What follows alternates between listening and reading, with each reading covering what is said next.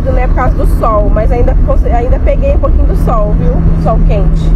Mas a gente chegou bem, graças a Deus, já tá tudo certo. Nossa viagem foi maravilhosa, um sucesso.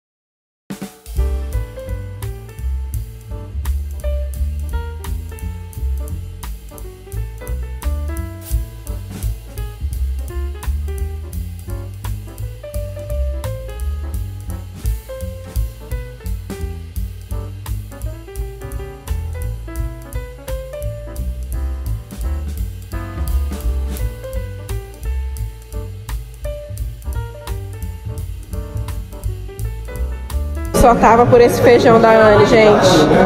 Vim aqui justamente para comer esse feijão. Mas olha só o banquetão que ela fez, olha isso.